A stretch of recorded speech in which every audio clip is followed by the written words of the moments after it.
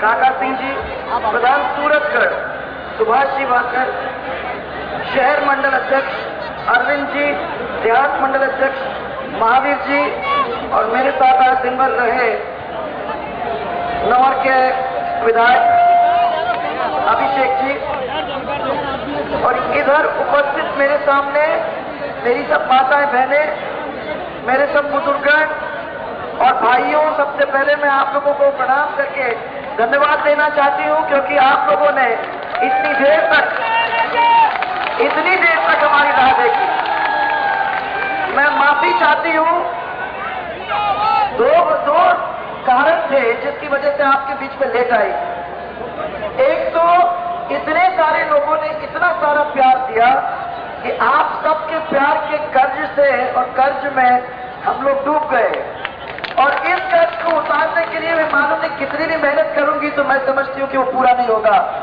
मौका आएगा तो मैं समझती हूँ कि काम करके, आपके इस प्यार के कर्ज को उतारने की पूरी कोशिश में करूँगा। उसके साथ साथ, उसके साथ साथ क्या रोड्स हैं आपके? इस रोड के ऊपर तो कोई भी फास्ट चल नहीं सकता है। रोड नहीं है, ज़्यादा गड्ढे थे।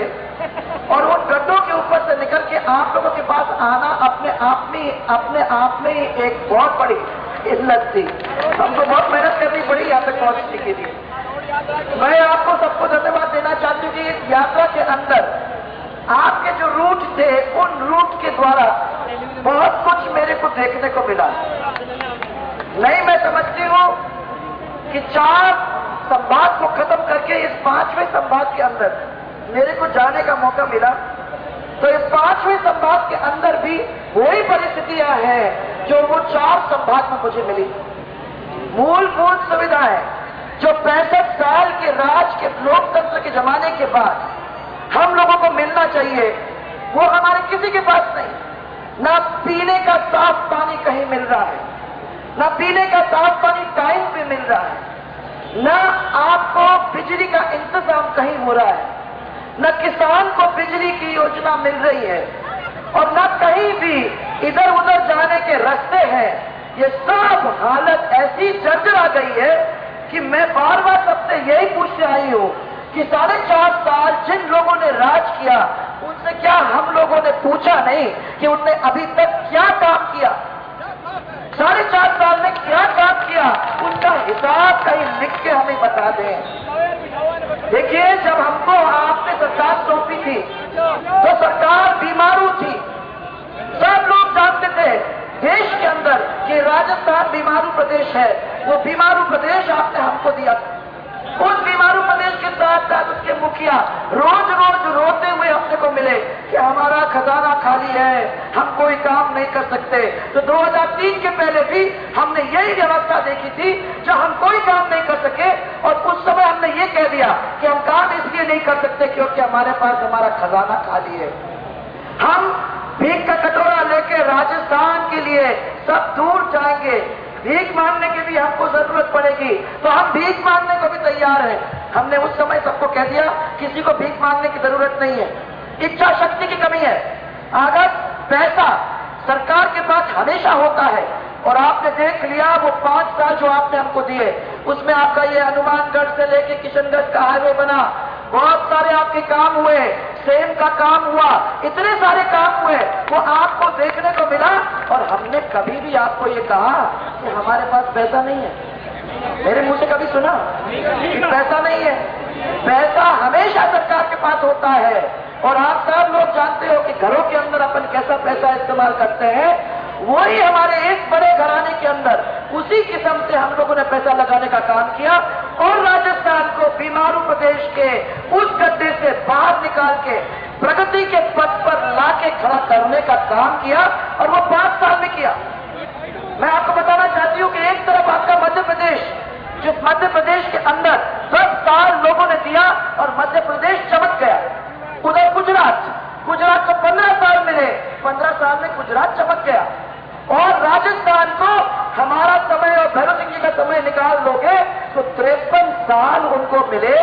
एक छत्र राज कांग्रेस का रहा और तिरपन साल में ये मुसीबत, इस गड्ढे के अंदर हम ऐसे बैठे हुए हैं, जहाँ हमको न पानी है, न बिजली है, न सड़क है, न डॉक्टर है, न टीचर है, कुछ भी नहीं है। और फिर भी हमारे बीच में लोग आके कहते कि हमें वोट दे दो अपना वोट में जाएगा तो हमारा मज़ा आ जाएगा, मज़ा तो आएगा, पर कितने लोगों का मज़ा आएगा, ये हमें बताओ। जनता का तो मज़ा नहीं आएगा, परंतु मज़ा आएगा उन लोगों का जिन लोगों ने आज दिन तक कभी काम करने की ज़रूरत नहीं समझी। मैंने, मुझे याद है कि जब मैं पहली दफ़ा दौरा कर रही थी तो मेरे पास कांग्रेस के नेताओं ने आके मुझसे ये कहा कि किसी के पास जाके आप लोगों को यह कहने की ज़रूरत नहीं है कि आप हमारा ये काम क्यों, आपका ये काम हुआ कि नहीं हुआ? ये मत पूछना।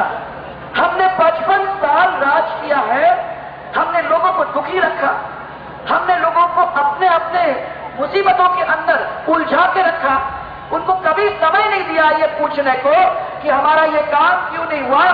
ऐसा रखोगे तो हम जैसे राज करोगे और ऐसा नहीं रखोगे तो अपने आप अपनी मुसीबत में आकर गिरोगे। और मैं आपको ये कहना चाहती हूँ कि तिरपन साल राज उन्होंने किया, परंतु जो राजस्थान की हालत हो गई है, मैं समझती हूँ कि इस हालत की राजस्थान की हालत को सुधारने का काम हमको और आपको मिलकर करना पड़ेगा। एक व्यक्ति अकेले कोई काम नहीं कर सकता, परंतु अगर पूरा परिवार साथ जुट जाता है तो कोई ऐसा नहीं है काम जिसको हम करने से वंचित रह जाएँगे। कोई ऐसा काम नहीं है जो विकास का राजस्थान का होगा, जिसको हम छोड़ सकेंगे। ये भी आपको मैं विश्वास करना चाहती हूँ। छत्तीस के छत्तीस कौम और सब मज़हब, सब जातियाँ साथ साथ मिलके और एक परिवार के रूप में चलेंगे, तभी विकास होगा। जितना समय हम लोग एक दूसरे के खिलाफत में खड़े होकर लड़के रखेंगे, उतना समय हमारा बिगड़ेगा। और राजस्थान आप देख लीजिए, पचास साल आगे नहीं बढ़ा है। आगे नहीं बढ़ा है क्योंकि हमारे ही बीच में दीवारें खड़ी कर दी गई है। मैं आपको कहना चाहती हूँ कि पहले तो अपन ये दीवारें तोड़े। सब पूरे लोग इकट्ठा हो, एक रास्ते के ऊपर चलने का सोच लें, और फिर उस नए राजस्थान का एक मानचित्र बना के उसको ध्यान में लेके आगे बढ़ेंगे तो कोई हमको आगे बढ़ने से रोक नहीं सकता। माता बहने लोग यहाँ आई हो आज। मुझे आप लोगों से कभी कभी मौका मिलता है बात करने का। आज आप लोग यहाँ बैठी हो, इसमें आपके सामने बात कहना चाहूँगी कि आपने आपके कल के लिए, राजस्थान के भविष्य के लिए और अपने परिवार के भविष्य के लिए सबने सोचा है। आज आप लोगों की स्थिति राजस्थान के अंदर क्या है, वो आप अच्छी तरह से समझते हो, ये भी समझते हैं। आज हमारी महिला सुरक्षित सड़क के ऊपर नहीं चल सकती। आज हमारी बेटी कहीं जाती है स्कूल से या कॉलेज से वापस जब तक नहीं आती, तब तक अपना दिल धड़कता है। है कि नहीं? है कि नहीं? कितनी चिंता होती है। आज राजस्थान में क्या स्थिति हो गई है? महिलाओं के साथ लगातार अत्याचार हो रहे हैं। अभी जयपुर के अंदर उन मूक वजीरों के साथ क्या हुआ, वो किसी से छिपा नहीं है। अखबारों के बड़े बड़े हेडलाइन में आया कि सात, आठ महीने तक उनके साथ अत्याचार हुआ, बेचारे बोल नहीं सकते थे। कुछ कह नहीं सकते थे। उनके साथ इस तरीके का अत्याचार हुआ और उनकी असमत की कीमत तीन लाख रुपया। मैं पूछना चाहती हूँ कि कैसी सरकार रही है? कैसी सरकार रही है? जो सरकार अपने घर की महिलाओं के इज़्ज़त को बचा के नहीं रख सकती, उस सरकार को चुल्लू भर पानी में डूब के मर जाना चाहिए। उसको आगे रखने की कोई ज़रूरत नहीं है।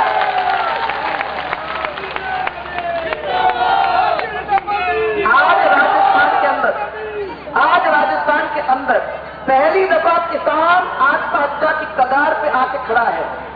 ये हम कहानियाँ सुनते थे आंध्र प्रदेश की। ये कहानी हम सुनते थे आपके दूसरे प्रदेशों की, परंतु हम महाराष्ट्र की, परंतु हमने कभी ये कहानी राजस्थान के किसानों के बारे में नहीं सुना। पर आज राजस्थान के किसान को ना बिजली मिलती है, ना उनको समय पर पानी मिलता है, और ना उनको किसी भी हालत में खाद और बीज सही समय पे मिलता है और मिलता है तो नकली मिलता है। और मिलता है तो महँगा मिलता है।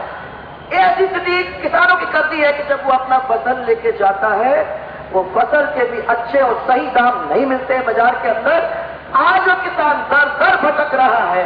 सबके सामने झोली फैलाता है और वो कहता है कि हमारी इज़्ज़त बच जाएगी, राजस्थान की इज़्ज़त उसके साथ बनी हुई है।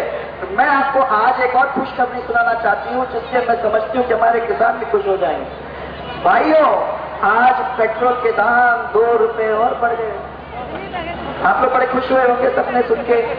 कोई ना कोई रोज रोज कोई नई बात आ रही है। मैंने इतनी संवेदनशील सरकार है हमको मिली। दिल्ली से लेके जयपुर तक कि उन लोगों ने बार बार ये देखा कि हमारी जनता को क्या चाहिए, उसको ध्यान में रख के और उसी तरीके से अपना फैसला किया। दो रुपया ज़्यादा का मतलब यह है कि महँगाई भी इसके साथ साथ बढ़ेगी, खाद भी बढ़ेगा, बीज भी बढ़ेगा, बिजली के दाम तो बढ़ी गए, बढ़ेंगे। उसके साथ साथ माता बहने हर चीज़ का दाम बढ़ेगा, गैस का भी दाम बढ़ जाएगा। परंतु अब आप लोगों को यह कहना चाहती हूँ कि इस महँगाई के अंदर हमारा किसान उसको क्या मिल रहा है, इसके बारे में आपसे मैं पूछना चाहूँगी। भाइयों, आप लोग सब बैठे हो। मुझे बताओ, किसानों, भाइयों, कि आप लोगों को इस पाले का और जो फ़सल का खराबा हुआ था, उसका मुआवजा मिला क्या? क्योंकि जयपुर में तो हमको अखबार में देखने को मिला कि हमने बिजली के दाम घटा दिए। दिया और हमने किसानों को वो पैकेज दे दिया, जिससे हमारे किसानों को मुआवजा मिला और हमारे किसान सब खुश हैं। क्या ये सही है? किसी को नहीं मिला। फिर वादा कि हमने बिना ब्याज का एक लाख रुपए पचास, एक लाख पचास हज़ार रुपए का कर्जा देने का काम, सहकारिता विभाग को किया देने का काम किया है। आपको मिला? किसी ने लिया? किसी को नहीं मिला? आज डीएपी के क्या दाम थे? हमारे टाइम में क्या थे? और अब क्या है? चार सौ कुछ थे हमारे टाइम में, अब बारह सौ कुछ है। आज हाँ और यूरिया हमारे टाइम में क्या था? और आज क्या है? दो सौ दो सौ कुछ रुपए, और आज पाँच सौ कुछ रुपए। ये तो दाम हो गए हैं। किसान करेगा तो कैसे करेगा? महँगाई से दबा हुआ किसान आत्महत्या करने के कगार पे तो आएगा ही आएगा, उसको और क्या करने वाला है? अब हमारे बच्चों से हम पूछेंगे। हमारे बच्चों को पढ़ाना, लिखाना, आगे बढ़ाने का काम हम सब घरों के अंदर सोचते हैं तो करना चाहिए।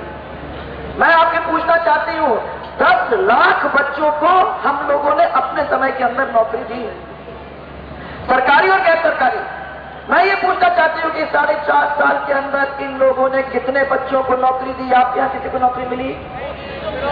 किसी को मिली? कोई टीचर बना, कोई डॉक्टर बना? कोई और इंटरव्यू हुआ जिससे आप लोगों को फ़ायदा हुआ?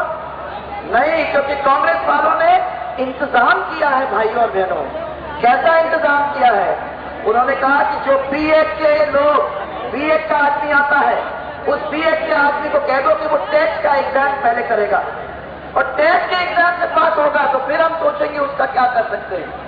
मैं सबको कहना चाहती हूँ कि यह व्यवस्था हमारे समय में नहीं थी। हमने टेस्ट के एग्ज़ाम को नहीं रखा था, हमारी व्यवस्था उसके बावजूद भी अच्छी रही और हज़ारों लोगों को हम लोगों ने नौकरी देने का काम किया। इसलिए मैं आपको यह भी कहना चाहती हूँ कि हमारी व्यवस्था के अंदर टेट का नाम नहीं है। सब भाइयों का को मैं कहना चाहती हूँ। इसके साथ साथ मैं और भी आपको बताना चाहूँगी कि हमारे बच्चों को पढ़ाना लिखाना और कॉलेज में से निकालना यह बहुत ज़रूरी काम है। मैं अभी कुछ कागज़ देख रही थी तो मैंने देखा 2000, 2004, 2008 में सैंतीस हज़ार से ज़्यादा स्कूल भारतीय जनता पार्टी ने अपने समय में खोले। 2009-2012 के अंदर केवल 2100 स्कूल खुले हैं भाइयों और कन्या विद्यालय तो एक भी नहीं खुला। राजस्थान में पूरे समय में एक तो कॉलेज खुले और 15 खुले लॉ कॉलेज और 15 वर्ष जो हमारा था उसके अंदर हमने 75 कॉलेज खोले। और कांग्रेस ने अपने इक्यावन वर्ष में चौवन कॉलेज खोले का मतलब ये कि हर साल एक कॉलेज हर साल एक कॉलेज मैंने 50 वर्ष में 50 कॉलेज खोलने का काम इन लोगों ने किया है। और आप ये समझिए कि राजस्थान को कितने आगे निकालेंगे। पीजी कॉलेज 1947 से लेके 1977 तक दस कॉलेज खोले कांग्रेस ने। कितने साल हो गए वो? 50 साल। 50 साल के अंदर 10 कॉलेज। और भारतीय जनता पार्टी ने टोटल अड़तालीस कॉलेज अपने ये बारह, पंद्रह साल के अंदर खोले हैं। तो आप समझ लीजिए कि कितना फ़र्क है। कन्या महाविद्यालय कन्या महाविद्यालय कुल इस पूरे समय के अंदर सैतीस हमने खोले भारतीय जनता पार्टी ने। और कांग्रेस ने सिर्फ़ छह खोले हैं। अब आप समझ लो कि इतना काम इन्होंने 50 साल के अंदर किया। क्या हमारे ये सब परिवार के लोग उनको फिर से वोट देने का सोच भी सकते हैं? सोच भी सकते हो? बिजली की हालत कितनी है? किसानों को तीन या पाँच घंटे बिजली मिलती है वो भी ट्रिपिंग के साथ। वीसीआर आजकल सब कुछ बन रहा है। तो जो बिल होना चाहिए, वो बिल कहीं दो लाख, कभी चार लाख रुपए। लोगों को करंट अगर मिल रहा है तो वो बिल के द्वारा मिल रहा है। जो आपका ट्रांसफॉर्मर है, वो ट्रांसफॉर्मर अगर बिगड़ जाता है तो बहत्तर घंटे में नहीं आता। आप अगर रिश्वत देते हो तो बड़ी मुश्किल से एक महीने या दो महीने के अंदर आएगा। और वो रिश्वत छोटी मोटी नहीं है। बारह हज़ार, पंद्रह हज़ार, बीस पच्चीस हज़ार, जब तक नहीं दोगे, तब तक नहीं होगा। और वीसीआर के लिए मैंने कह दिया है कि उसकी इंक्वायरी होगी और जिन लोगों ने गलत तरीके से वीसीआर बनाया है, उन लोगों को हम लोग दंडित करेंगे। और जिन गरीबों के पैसे लिए थे और गलत पैसे लिए तो वो पैसे वापस उन बेचारे गरीबों को देने का काम हम लोग करेंगे। और माता बहने, राजस्थान के इतिहास में पहली दफ़ा घरेलू बिजली, पहली दफ़ा घरेलू बिजली लाने का काम हम लोगों ने किया 2008 में जैसे हमारी सरकार जा रही थी तो 18 से 20 घंटा बिजली हम आप लोगों को वो सिंगल फ़ेज़ के द्वारा घरेलू बिजली देने का काम कर रहे थे मेरा मन यह था कि अगर छह आठ महीने और हो जाते तो आप लोगों को घर के अंदर 24 घंटे बिजली मिलती और अब सरकार हमारी आएगी तो 24 घंटे बिजली देने का काम ये मैं आप लोगों को सबको बताना चाहती हूँ, आपको मिलेगी। इसी तरीके से, इसी तरीके से आप लोगों के पीने का पानी का इंतज़ाम। जहाँ जहाँ मैं गई हूँ, वहाँ फ्लोराइड की मुसीबत है। या सही टाइम पे पानी आता नहीं है। या पीली बंगा में भी जलदा विभाग अशुद्ध पेयजल की आपूर्ति कर रहा है। क्या सही है? क्या ये सही है कि आपको शुद्ध पानी पीना पड़ता है? पंजाब के जो भाखड़ा नगर के माध्यम से जो पानी यहाँ आ रहा है, वो केमिकल से भरा हुआ है। बार बार लोग इस चीज़ क्यों कहते हैं। वो कई दिन से ये बात चलती आ रही है। और ये सब अशुद्धियाँ पाने के बावजूद भी सरकार ने इसके बारे में अभी तक कुछ नहीं किया है। और क्षेत्र की 31 पंचायतों को आज भी पेयजल आपूर्ति नहीं हो रही है। अब आप समझ लीजिए कि कितनी हालत अपने क्षेत्र के अंदर खराब है। राजकीय अस्पताल आपका यहाँ जो चल रहा है, उसमें 12 के स्थान है। 12 डॉक्टर होने चाहिए। कितने डॉक्टर हैं? कितने डॉक्टर हैं? बस, मेरे को ये बताओ कि दिल जयपुर के अंदर तो बड़े हेडलाइन चल रहे हैं। कि सरकार ने बहुत अच्छी स्कीम बनाई है, जिस स्कीम के द्वारा आपको मुफ़्त दवाई और मुफ़्त जाँच हो रही है। तो आपको इन डॉक्टरों के द्वारा मुफ़्त जाँच और मुफ़्त दवाई मिल रही है क्या? तो डॉक्टर ही नहीं है तो कहाँ से मुफ़्त दवाई और कहाँ से जाँच होगा? शहर के कन्या सीनियर सेकेंडरी स्कूल में पिछले चार पाँच साल से प्राचार्य का पद खाली है। आप लोगों ने किसी ने कुछ बोला इसके बारे में? चार पाँच साल से पद खाली है। और साइंस फैक्ट्री फैकल्टी के अंदर तो कोई लेक्चरर ही नहीं है। तो कहाँ जाते हैं बच्चे पढ़ने को? प्राइवेट स्कूल में जा रहे होंगे। गवर्नमेंट स्कूल में तो जा ही नहीं सकते क्योंकि डॉक्टर टीचर ही नहीं है। पीली बंगा शहर के अंदर सबसे बड़ी समस्या जो है, वो पानी के निकासी को लेकर है। इसके लिए हमने पाँच करोड़ रुपए आपको याद होगा दिया था। काम पूरा नहीं हुआ। और इसके बाद भी कांग्रेस सरकार उसको आराम से आगे बढ़ा सकती थी, परंतु उन्होंने नहीं बढ़ा और बढ़ा देती तो इस समस्या से आपको निजात मिल जाता, परंतु उनने वो काम किया ही नहीं है।